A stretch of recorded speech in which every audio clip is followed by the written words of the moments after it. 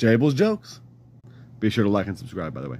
A horse walks into a bar, and the bartender, like he looks at the horse and says, "Horse, why do you have a long face?" And the horse looks back at the bartender and he says, "My wife died." oh, what a classic! I hope you enjoyed that joke, and when you watch the next video, I'll be there.